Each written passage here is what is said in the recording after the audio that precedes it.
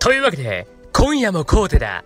ミラクルニキのお時間です。ねえ、いやー、今日もですね、バリバリ、ね、チャンネル登録者さん10万人ぐらいの激烈人気な YouTuber を目指して頑張って、ねえ、コーデしていきましょうね。ねえというわけで、今回はですね、コーデはコーデのミラクルニキの方をやっていきたいと思います。いやー、なんかね、あの、ここまでね、コーデ系をやってるとすげえね、気になってたんですけれども、ねえ、どうなのかな、ミラクルニキは。新暦672年、偉大なデザイナー、サヤ王がこの世を去り3点の遺作が残された。この遺作の貴族権を争い、各国あわや戦争かという状況に追い込まれる。いや、コーデゲーム界って、そんなにコーデ力って力を持ってんの？が、度重なる交渉により貴族権をコーディネート大会で決することとなった。ねえ、でもなんかこのコーデ力を手に入れたら世界を牛耳れる的なね、そんなパワーあったらみんなコーデ力磨くのかな？大会はパテル連邦とカルファ王国の国境の町ルーアルトで行われて、行われ、9日間も続いた。すげえ続いてんじゃん。えー、どの勝負も緊迫し、会場を敗北して去るデザイナー、遺産で登壇するデザイナーでごった返した。勝負の熾烈さは人々の想像を超え、後に9日間戦争と称されたカルファ王帝国の王女アイリとえー、薄紅色の髪をした一般人の女性であった。この薄紅色の髪の女性が、あれなのかな？ミラクル2期なのかな？当時16歳であったカルファ王帝国の王女アイリは遺作2点を勝ち取り、再生の女神と称された。一方、専業主婦エルドとなった女性はすげえな。えー、遺作、この名前いろんなとこで使いたいね。えー、遺作一点を手に入れる。しかし彼女は大会後蒸発したかのようにお、ゆくる知れずとなった。新暦676年、20歳のアイリは王位を継ぎ、鉄血の女帝、アイリの時代が到来した。鉄血って聞くと、いろいろ思うとこあるよね。止まるんじゃねえぞ。アイリはアイアンローズを組織し、アイアンローズか。なんかそんな名前のあれを最近聞いた気がすんな。アイアンサーガだったかな。えー、あ、違う、それスリーローゼスだったかな、そっちは。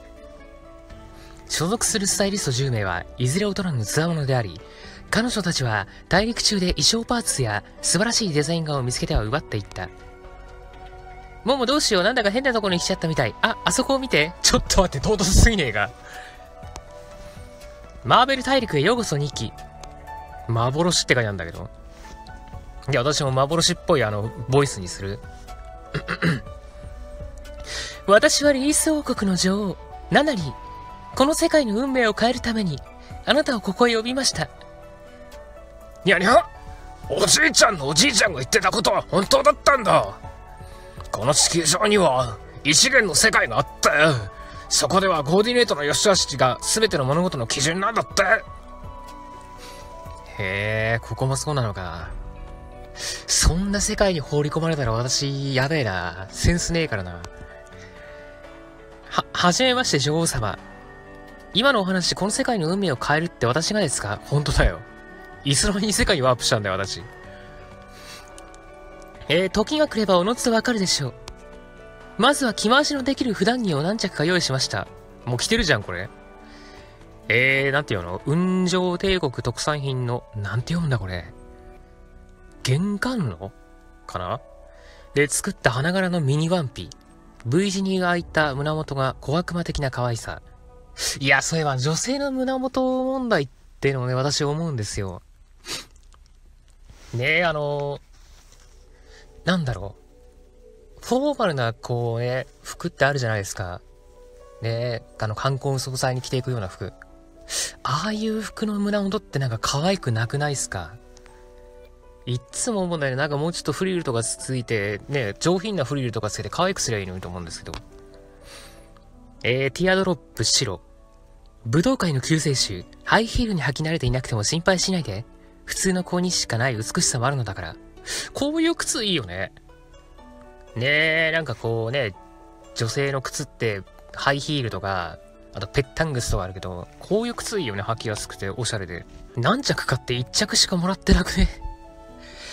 さあ、おしゃれな少女のさあ、おしゃれな少女のコーデバトルです。上品でシンプルな普段着を表現してください。てか、王女様これ大丈夫？パンツ履いてる ?2 期、あなたの才能を示すのです。ミッションを受けますか？クローゼットのアクセサリー類をタイプ別に分けました。確認してね。女王様からもらったワンピースに着替えてみよう。女王様からもらったのがワンピースってすげえな。ねえ、富、名声、力、この世の全てを手に入れる。俺の財宝か？ねえ、財宝はまさかのワンピースだったっていうね。この辺は、先週と同じなんだね。つか、ちょっと待って、2期 T シャツしか着てなくね？え、大丈夫 ?T シャツしか着てなくて。寒くね？他のカテゴリーの衣装を見たい場合はメニューの外をタップして。メニューの外って何？あ、こっち？ティアドロップ。コーデ完了ボタンでバトルが始まるよ。こっちおすすめコーデってないのかな？私あれダイルだったんだけど結構。ちょっと待って、王女様着替えてるじゃん。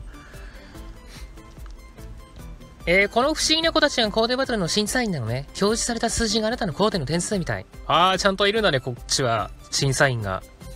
なんか審査員精霊みたいなのがいるんだね。現在の合計得点は画面上部に表示されるよ。勝てるかな？勝てっかな？だってワンピースだぜ。コーデの採点は、衣装属性ごとに何回か行われるよ。なんか効果音ならねえけど、いいのかな？あ、これエレガント妖精がエレガントをこうチェックしてくれたりすんの？やったぜ。いやー、私、今始めたばっかりだからレベル1なんだな。惚れちゃいそう。夢に出てくる僕の恋人みたいに完璧。どういう恋人なんだろう？やっぱあれかな。結婚したのか？俺以外のやつと。のあの人かな。2期素晴らしいわ。私が手助けできるのはここまでです。だから、王女様パンツ履いてる？旅の先には運命があなたを待っているでしょう。信じて進むのです、2期あなたは。なんだよ あなたはなんだよ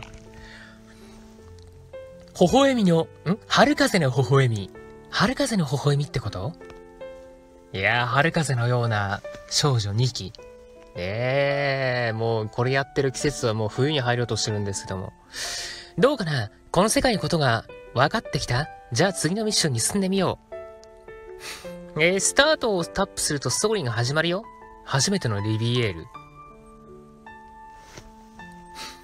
女王様いなくなっちゃった。一体どういうことなんだろう？いやー、なんか、なんだろうね。このワンピースもちょっと細かく作ってあるね。ね、なんか花柄の下地になんかこう薄いね、こう、レースっぽいのかかってるおしゃれだね。あ、ねえ、モモ、さっきこの世界のこと聞いたことあるって言ってたよね。このモモの説明をしてくれよ、まず。おじいちゃんからマーベル大陸の伝説を聞いたことがあるだけだけどね。でも、それなことより、僕は今すぐ帰って焼肉が食べたい。世界とか運命とか正直どうでもいい。本当だよ。焼肉食べたい。もうそんなこと言わずに教えてよ。うん、とりあえず動きやすい服に着替えよっかな。ここがどこなのか見て回らなきゃ。ワンピースも動きやすくねえから。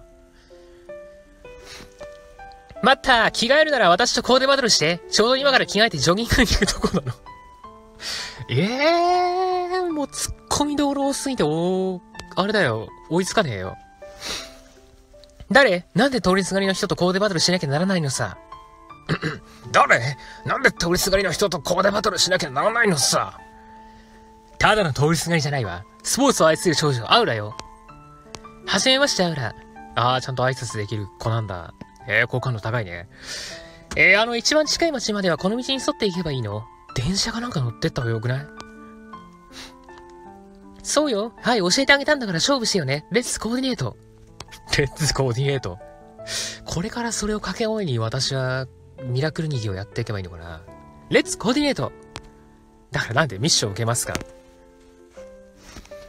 ショップではいろんな服を買うことができるのを見に行ってみよう。えー、この服はまだ持ってないみたい。タップして買ってみようよ。てか、いつの間にか5万も持ってるんだね。5万円って言っていいのかな？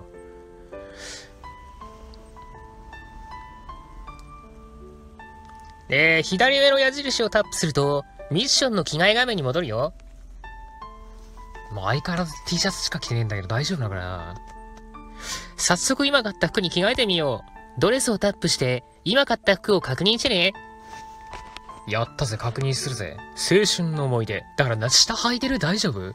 この世界の人下履いてる？この服ならコーデバトルも問題ないはず。コーデ完了ボタンでバトルが始まるよ。こっちはあれなのかな？コーデのドレスコードないのかな？ねえ、この動画から私のね、チャンネルというか動画を見て、初めて見てくださった方もいらっしゃるかもしれないんで説明するんですけども。ねえ、私あの、普段センシルっていうね、A ゲームをバリバリやってまして、ねえ、そっちの基準で話をしてるんですけども。えー、何これどういうこと？カウントダウンが終了すると受け取れますえー、よくわかんない。どういうこと？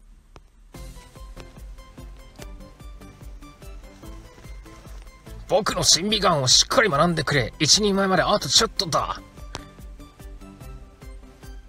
お、なんかもらった。ジョブ・ルーニーを取材したノーザン王国の記者は、フェミニンルックなパテール連邦ではかなり浮いていた。どういうことだよ。なんか国によって、こう、好まれる服装が違うってこと？ええー、じゃあ日本的な国出てきたらあれじゃない？ゲイシャガールとか忍者ボーイな格好なんじゃない？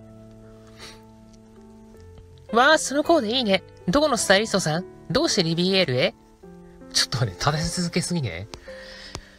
ええー、そうかなありがとう。私もどうやってここに来たのかわからないの。いや、ほんとどうやって来たのかマジわかんないんだよね。そもそもなんで来たのかわかんないえっと、ここはリビエールって言うの？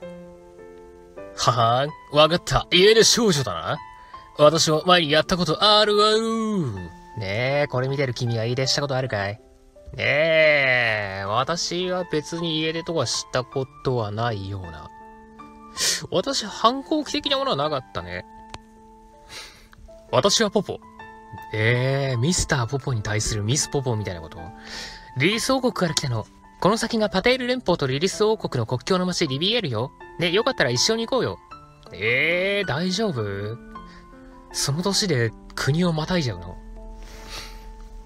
あ、でもヨーロッパとかだと国が地続きだから割とあんのかないいの？私は2期。こっちはモモよ。モモ、よろしく、ポポ。2期、モモ、ポポ。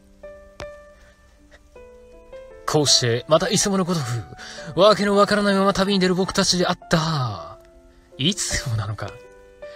えー、じゃあ何他のなんか、ゲームでも出てんの？ん？秘密の館をタップしてね。秘密の館には幻の部屋と謎の部屋があるの。えー、矢印で切り替えられるよ的な？えー、矢印で切り替えられるよ。一回ガチャをタップし、運試しをしてみよう。レア衣装が当たるかも。当たってくれよな。ちょっと待って、かけらなんだけど。服でもねえんだけど、これ。ガラスの靴のかけらを1個獲得しました。えー、これなんだろう、歌方？えー、カルファの紺碧の海に雪のごとく波がさざ、さざめき、美しい傘状のものが漂っている。いやーちょっと待って。普段言い慣れない言葉が出てきて、ちょっともう、スムーズに読めない。もう一回読む。カルファの紺碧の海に、雪のごとく波がさざめき、美しい傘状のものが漂っている。ピースフィット。さあ、ミッションを続けましょう。あなたをどう呼べばいいのかしら？あー、センシルさんと違って自分がこう、コーデバトルするんじゃなくて、プレイヤーである私は、ニッキさんのスタイリスト的な役割ってことなんだね。えー、じゃあいつもの名前にしますか。すでに作成されています。マジか。じゃあしょうがないな。預かでやりますか。いや、すでに作成されています。いや、マジか、どうすりゃいいんだよ。えー、じゃあ記号使えないかな。記号は使えません。えー。じゃあ、なずかさんにしよう。いいのまたね。さあ、旅を続けよう。いや、なんか今、ちょっと、イギリスとかにある、あの、おしゃれなバスが見えた、今。新しいミッションが始まるわ。いや、でもいいぐらいやってるんで、今回ここまでにしますか。いやー、ちょっと、どうなんのかなちょっと割と戸惑っておりますよ。ねえ、さあ先は気になりますが、今回はここまでです。ね、えー、ここまで、ね、ここまで見ていただいて、ね、ここまで見てくれてどうもありがとう。ね、よかったらチャンネル登録、高評価、コメントよろしくお願いいたします。ねえね、そういうわけで、えー、っと、また次に、大、ん？連邦少子って何？というわけで、また次の動画で。